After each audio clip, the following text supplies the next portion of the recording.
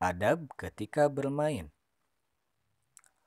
Wal asri innal insana lafi khusr. Artinya, demi masa sesungguhnya manusia itu benar-benar dalam kerugian.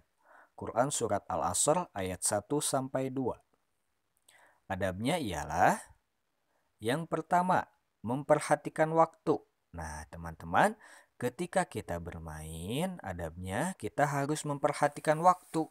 Tidak boleh terlena, tidak boleh berlebihan, harus ada batasan waktu ketika kita bermain. Yang kedua, harus jujur. Yang ketiga, tidak mengganggu orang lain. Nah, teman-teman semua, jangan sampai ketika kita bermain kita mengganggu orang lain ya. Jangan seperti itu. Yang keempat, tidak boleh bertengkar atau bermusuhan. Nah, ketika kita bermain, hindari pertengkaran dan permusuhan karena di dalam ajaran Islam kita diajarkan untuk bersatu, tidak berpecah belah. Makanya hindari pertengkaran dan bermusuhan. Baik, terima kasih teman-teman semuanya. Silahkan dihafalkan ya.